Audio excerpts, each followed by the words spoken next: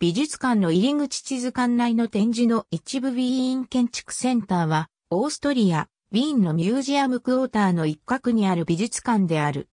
これは、建築や、それに関連した話題、特に20世紀、21世紀の建築と都市デザインについての展覧会、イベント、研究のセンターとして構想されたものである。これは、オーストリアの国立美術館でもある。常設展示、20世紀、21世紀のオーストリアの建築は1850年から現在までのオーストリアの建築の歴史を紹介するものである。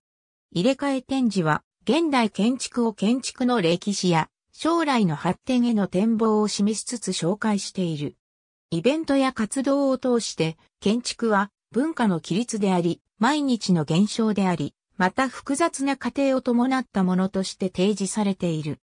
これらのイベントには、専門家の講演やセミナー、ガイド付きの館内ツアー、子供たちのためのワークショップ、出版、そして毎年開催のウィーン建築会議が含まれている。美術館のカフェ、レストラン、ミロは、その店内のデザインの美しさでよく知られている記録と、研究に携わる部門は、27万冊の近代室の図書を有する図書館やオンラインの建築データベースに辞典の類、20世紀、21世紀の建築に関係する資料の収集と保存を担当している。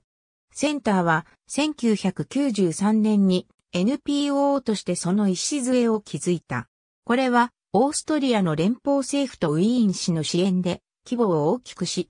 さらに政府の教育、芸術、文化省とウィーン文化と都市開発局が管理運営している。美術館はミュージアムクォータの展示場所で8年間を過ごして、2001年に現在の場所に移動した。美術館は展示用スペースが1000平方メートルあり、最初の15年間で150の展示会、300のイベント、600回の建築ツアーを開催してきた。ありがとうございます。